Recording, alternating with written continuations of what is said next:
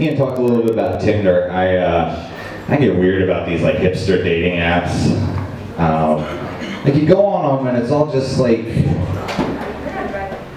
flannels and beards. It should be called Timber. Yeah.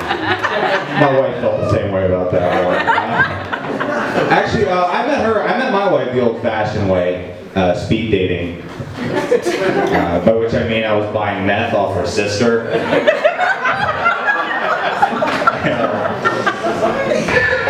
I tell you, that, that woman, uh, she keeps me on straight and narrow. You know, uh, really, when it comes to monogamy, my wife does not fuck around.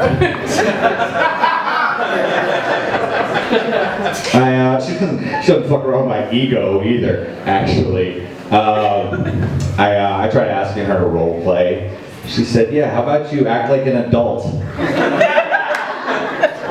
I was like, come on, I'll play, you know, student teacher, right? She's like, all right, I'll be the teacher. I was like, oh, is that because like female teachers sleep with like young high school guys now? She's like, no, you need a degree to be a teacher.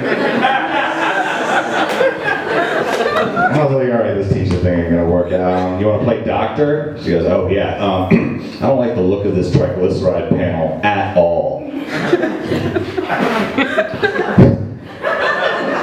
I bought uh, I bought weed off of Micro Freshman. No. Uh, it looked it looked really good, but I can't shake this feeling. It's not about anything.